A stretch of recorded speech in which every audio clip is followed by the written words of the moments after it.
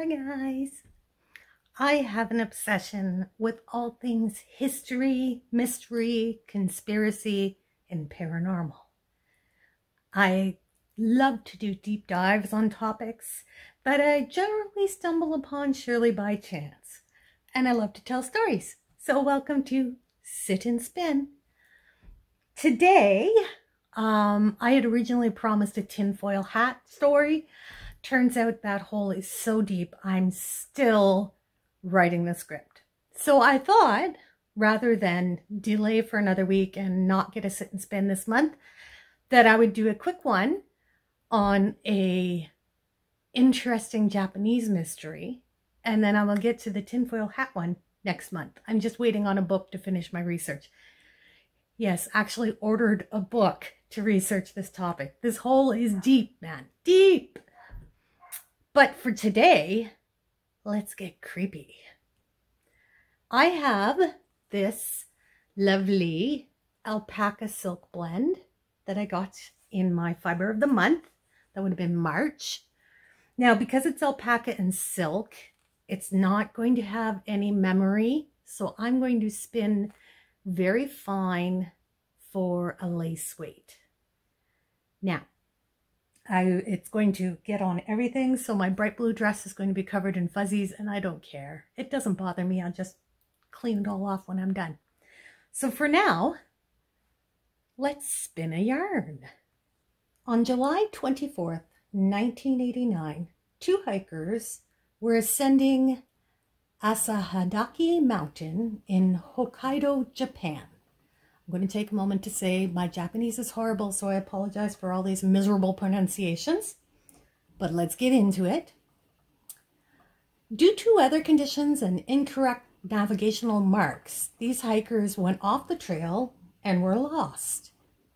Rescuers were searching for them via helicopter when they came across a giant SOS laid out on the ground, 16 feet long and 10 feet wide, it was made from birch logs and it was near the start of the Chubasagawa River.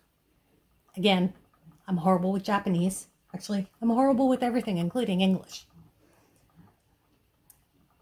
The rescuers circled the area and found the two missing mountaineers safe about two to three kilometers north of the sign.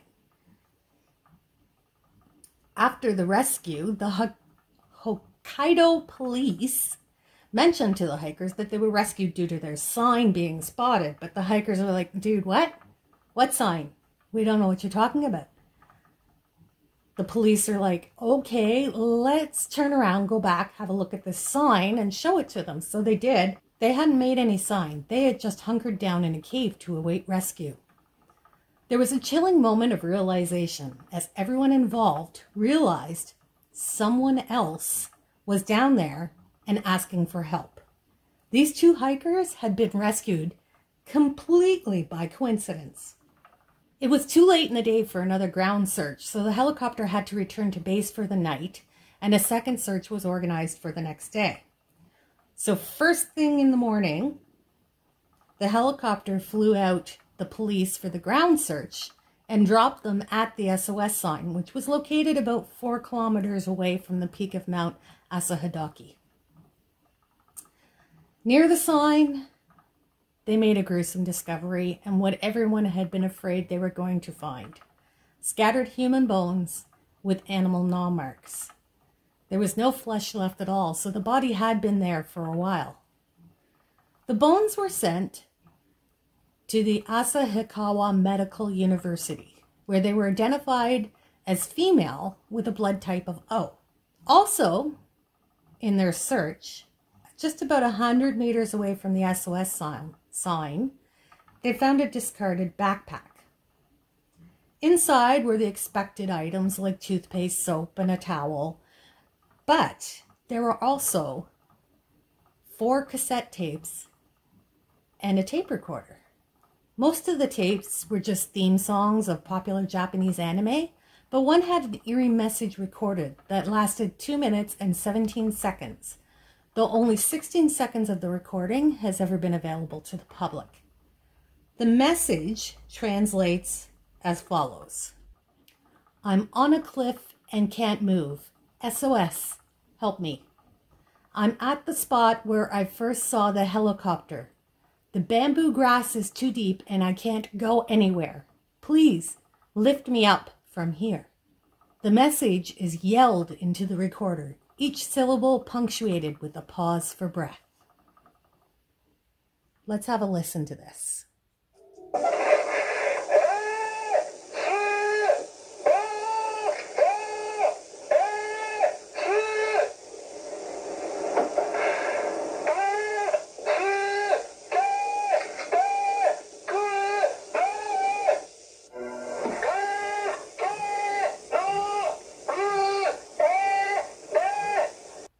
So that was an excerpt of the original recording being played for the public. But wait a second.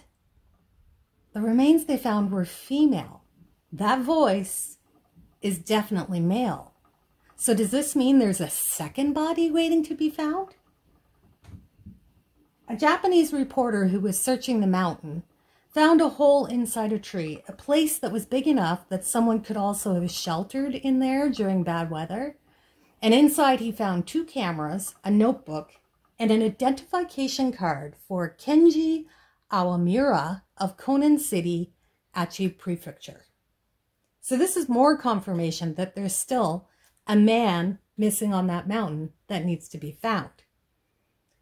The police sent a request to the Asahikawa Medical University to re-examine the bones. Well, guess what? The new results said the bones belonged to a man with a blood type of A.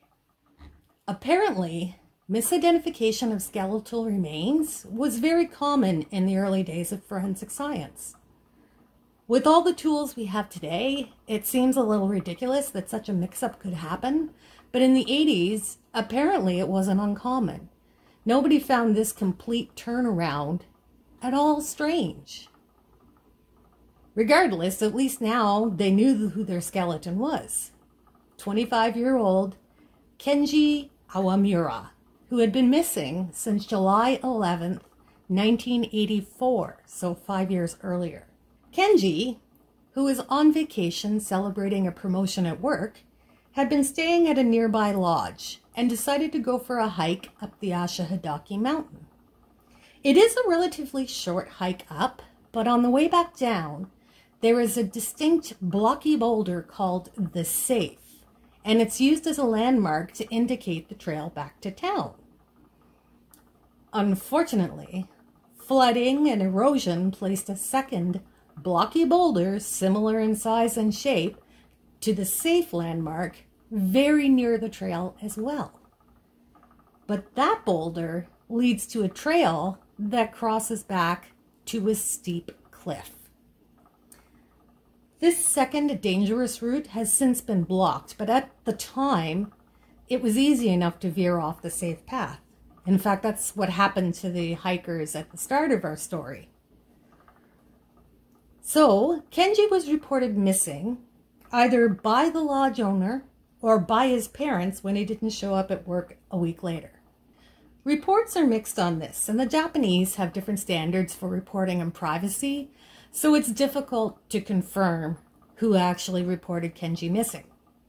In fact, Kenji is often not even identified by name in the press and has alternately been identified as Morita Katsuhiki, Kat, Katsuhiko, there we go, Katsuhiko, who worked in an auto parts factory.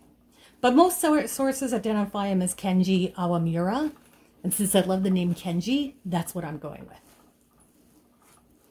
So Kenji's parents were contacted and they did identify the back the backpack as belonging to him, although they weren't certain that the voice on the tape was their son's.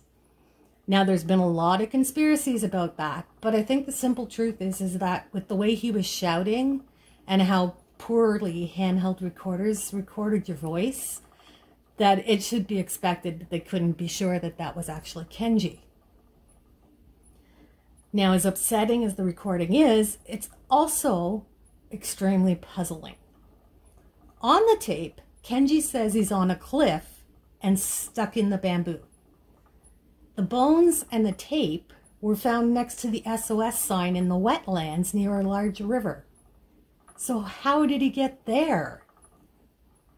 It seems that initially he thought it would be extremely dangerous to climb down the, the cliffs, but he later risked it and reached the open area where he created the SOS sign. So let's take a moment and discuss the SOS sign. It was made of large birch trees, 19 in total. Overall, it was 19 feet long, so from S to S, and 10 feet high, so from top to bottom, with logs stacked as many as three high throughout. It's a lot of work for one person to laboriously haul and stack heavy hardwood logs. But here's another strange thing. The skeleton had two fractures, one leg and one upper body, the shoulder. There is no way a man with those injuries could have hauled those logs. On the tape, Kenji had made no mention of injuries, so maybe we can assume that the fractures happened later. But at the time of the recording, he was still on the cliff. It would be logical to think that the fractures happened while descending, which would again mean he couldn't make the sign. For now, let's just accept that he made the sign before the accident that led to the fractures, and let's just go back to looking at this sign. The sign had been out in the open, exposed to weather and overgrowth for five years. So anyone who's ever had a yard knows how quickly grass and weeds can grow and cover anything.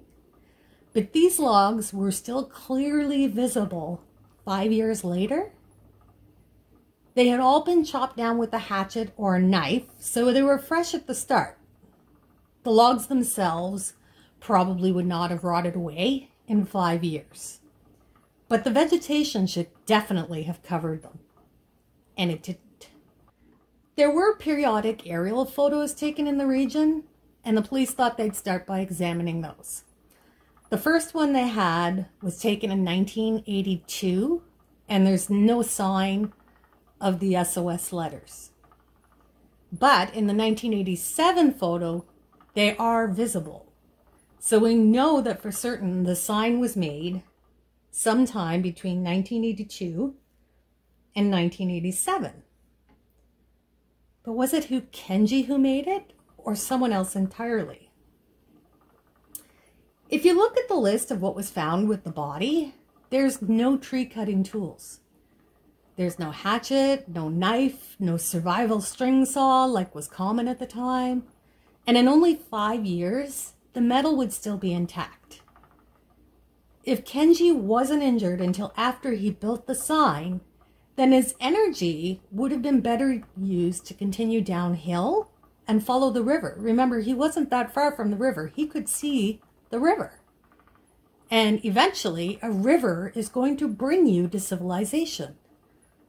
So why would he spend all this time cutting and hauling these nine hardwood trees to make an SOS sign? From the tape, we can construe a rough timeline of the events.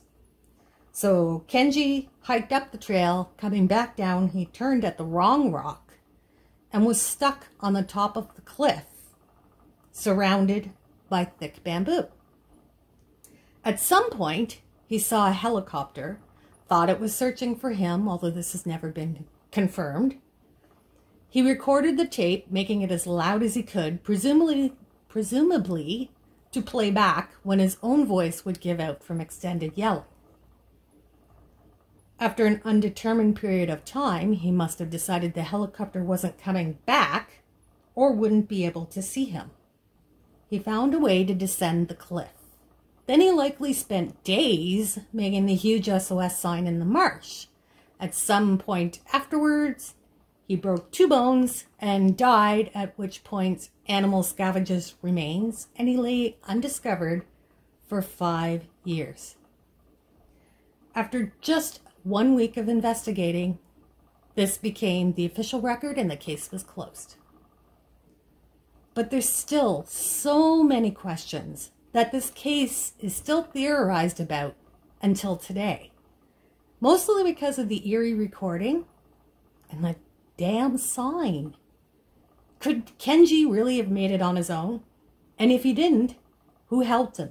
Or maybe he didn't make it at all. Maybe he did sustain his injuries descending the cliff, and coincidence had him dying near the sign. Or maybe someone else entirely made the sign after his death, with no idea his body was there. Or maybe they did find his body, but didn't want to report it for whatever reason, so they made the sign so it would be discovered.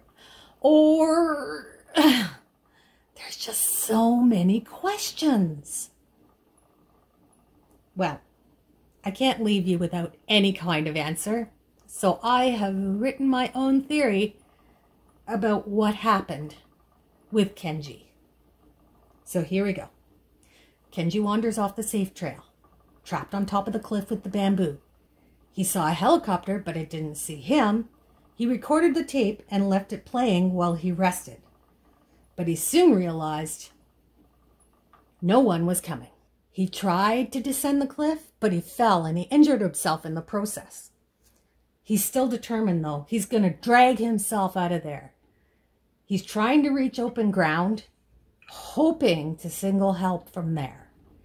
He sheltered in a tree where he left some of his belongings before continuing on. He didn't make it far, however, before he succumbed to his injuries.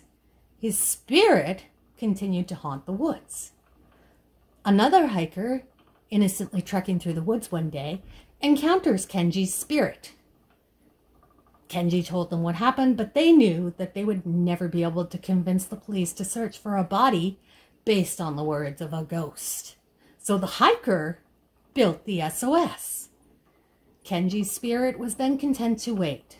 But one day, he saw these two hikers lost the same way he had been lost, and he didn't want them to die. So he guided them to a safety, the safety of a cave near the SOS so that they would be saved and Kenji's remains could finally be found and he would be laid to rest. At least that's how it works in my head. What do you think? Do you have your own tale of how all this happened? Share it with me in the comments. I hope you've enjoyed a good yarn. Thanks for joining me, and I'll see you next time. Bye.